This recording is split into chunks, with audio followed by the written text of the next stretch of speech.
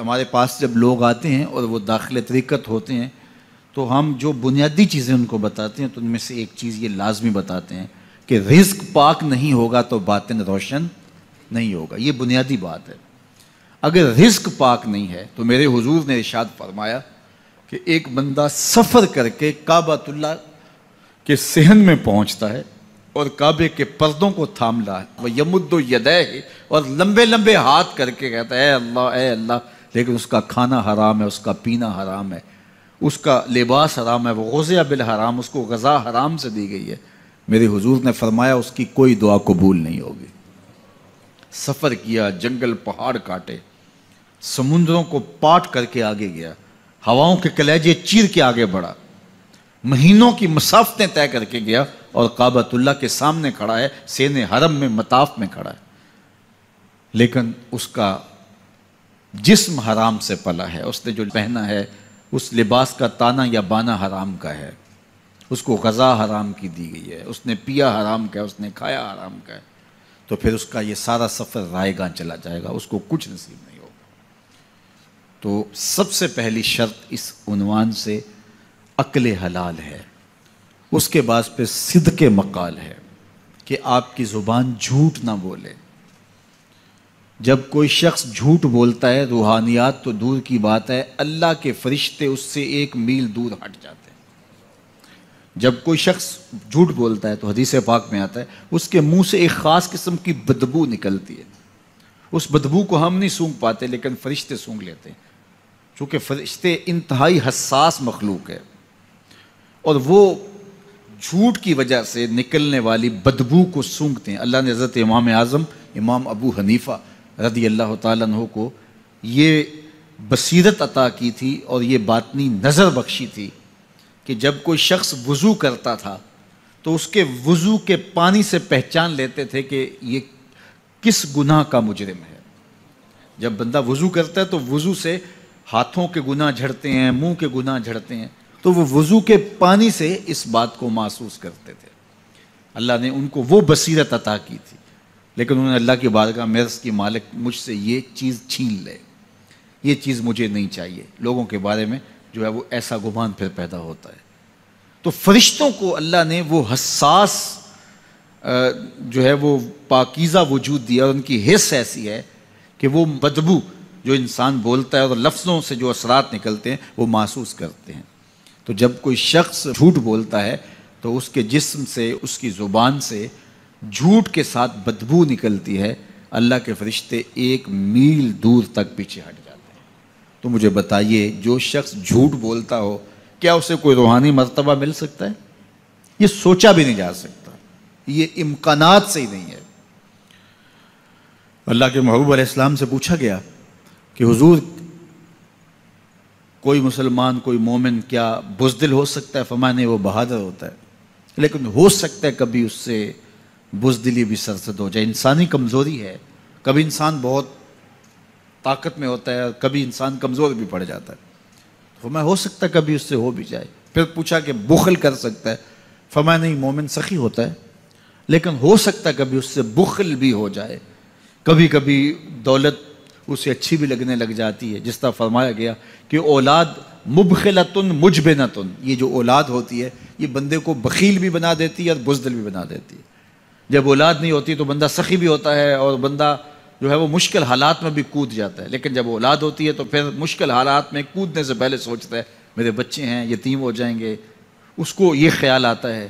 پہلے ایسے مال لٹاتا ہے، لیکن اولاد ہو جائے تو پھر وہ اولاد کا سوچتا ہے کہ ان کے لیے کچھ میں جمع کر لوں۔ تو اولاد فرمایا میرے حضور نے کہ مبخلا و مجبنا یہ بخیل بھی کر دیتی ہے اور یہ کمزور اور بزدل بھی بنا دیتی ہے۔ تو مومن ہوتا بہادر ہے، لیکن ہو سکتا ہے کبھی اس سے بزدلی بھی ہو جائے، مومن سخی ہوتا ہے لیکن کبھی ہو سکتا ہے اس سے بخل بھی ہو جائے۔ لیکن تیسرا سوال حضور سے پوچھا گیا کہ مومن جھوٹا ہو سکتا ہے؟ تو اس پہ دو ٹوک کہا نہیں، جھوٹا نہیں ہو سکتا۔ یہ نہیں ہو سکتا کہ مومن ہو اور جھوٹا ہو، وہ سچ بولنے والا ہوگا۔ تو عقل حلال اور صدق مقال یہ دو خوبیاں جو ہیں، یہ اہل اللہ کا رائے امتیاز ہے اور یہ مجھے اور آپ کو اختیار کرنی چاہیے۔ حضرت خلیل اللہ جب وادی غیر زی ذرا میں سیدہ حاجرہ اور ان کے معصوم نو نحال کو چھوڑ کر کے جانے لگے، ایسی وادی جہاں حیوانی وجود بھی نہیں تھا، نباتات بھی نہیں پائے جاتے تھے، پانی کا ایک قطرہ بھی دستیاب نہیں تھا۔ کالے سیاہ محیب پہاڑ جیسے فلاد پگھلا کے ڈال دیا ہو۔ وہ وادی جہاں دن کو بھی خوف آئے، وہاں حضرت حاجرہ نے راتیں بھی گزاری۔ کتنا دردناک لمحہ تھا۔ جب سحری کا وقت ہوا، حضرت خلیل اللہ دعائیں دے کے رخصت ہونے لگے۔ حضرت حاجرہ سلام اللہ نے آگے بڑھ کے اپنے شوہر نامدار کا دامن پکڑ لیا۔ تمسکت بے ہی دامن پکڑ کے بولی، میرے شوہر نامدار، اس محیب وادی میں، اس پہاڑوں کے دامن میں، جہاں دن کو بھی خوف آئے نو نحال معصوم کے ہمراہ مجھے چھوڑ کے کہاں جا رہے ہو؟ حضرت خلیل اللہ نے کوئی جواب نہیں دیا۔ پھر قدم اٹھایا تو زوجہ نے پھر دامن پکڑا۔ پھر وہی سوال، پھر کوئی جواب نہیں آیا۔ تیسری مرتبہ دامن پکڑا۔ خلیل اللہ کی جانب سے کوئی جواب نہیں آیا۔ تو خاتون خود بولی، کیا اللہ کا حکم تو نہیں؟ تو حضرت خلیل اللہ نے کہا، نعم ہاں اسی کا حکم ہے۔ حضرت حاجرہ نے دامن چھوڑ دیا، کہا، جائیے، خیر سے جائیے۔ اگر اس کا حکم ہے، وہ ہمیں ضائع نہیں ہونے دے گا۔ جہاں دن نہیں گزارے جا سکتے تھے، پھر اس خاتون نے وہاں راتیں بھی کاٹی وہ وادی جس میں وحشت بھی قدم رکھتی تھی، ڈر ڈر کے، جہاں پھرتے تھے آوارا تھپیڑے بادے سر سر کے، جہاں پر گھاس اگتی ہے، جہاں نہ پھول کھلتے ہیں، مگر وہ سرزمی ہے، آسماں بھی جھک کے ملتے ہیں۔ اپنی پاک باس، بیوی اور نو نحال بیٹے کو چھوڑ کے حضرت خلیل اللہ دعائیں دے کے رخصت ہو گئے۔ تھوڑا سا توشہ تھا، دو ایک دن کے بعد ختم ہو گیا۔ پھر ماں کی چھاتی سے دودھ بھی خشک ہو گیا۔ نونحال پیاس سے تڑپنے لگا۔ ماں تو پھر ماں ہوتی ہے، تڑپتی ہوئی ممتا کا دل بے قرار ہوا۔ ایک پتھر کے سائے میں معصوم اسماعیل علیہ السلام کو لٹایا اور پانی کی تلاش میں جبل صفا پہ چڑھی اطراف میں آسمانوں کی طرف دیکھا۔ کہیں کوئی پرندے اڑتے دکھائی دیں اور پانی کا نشان ملے اور میں وہاں سے بیٹے کے لیے دو بوند لے آؤں، لیکن کچھ دکھائی نہیں دیا۔ تا حد نظر پھیلا ہوا۔ آسمان ہی آسمان ہے اور پہاڑی پہاڑ نیچے دکھائی دیتے ہیں۔ پھر مروا پہ آئیں۔ درمیان میں نشیبی جگہ تھی۔ وہاں بیٹے کا من مونا چہرہ دکھائی نہیں دیتا تھا۔ دوڑ کے گزری اور جا کے صفا پہ گھوم کے دیکھا۔ کچھ نظر نہیں آیا۔ ادھر بھی دیکھ لیا، ادھر بھی دیکھ لیا۔ لیکن ماں تھی، پھر دوبارہ صفا پہ آئی۔ صفا پہ دیکھا، کچھ دکھائی نہیں دیا۔ پھر تڑپ کے مروا پہ آئی وہاں پھر دیکھا، کچھ دکھائی نہیں دیا۔ پھر صفا پہ آئی۔ کبھی صفا پہ، کبھی مروا پہ۔ تڑپتی ہوئی ماں کی ممتا، بے قرار دل۔ ادھر پانی کی پیاس سے تڑپتا ہوا معصوم اسماعیل پتھر کی اوٹ میں۔ درمیان سے ماں گزرتی ہے۔ تو بھاگ کے گزرتی ہے کہ بیٹے کا من مونا چہرہ بھی نگاہوں کے سامنے رہے۔ ذرا منظر تو دیکھو کتنا دل آویز ہے۔ اللہ اکبر، سینوں میں پتے پانی ہو جائیں، پتھر بھی ہو تو پگل جائے اس زہرہ گداز داستان سے۔ لیکن اللہ پر توکل اور ماں کی بے قراریاں کبھی صفا پہ، کبھی مروا پہ، زبان پہ شکایت نہیں ہے۔ پھر جب مروا پہ پہنچتی ہیں، سات چکر مکمل ہو گئے۔ تو ادھر کیا دیکھا کہ معصوم اسماعیل ایڑیاں رگڑ رہا ہے؟ ماں کا دل ڈولنے لگا کہ بیٹا آخری لمحوں میں دوڑی کہ بیٹے کو جا کے اپنی چھاتی سے چمٹاؤں۔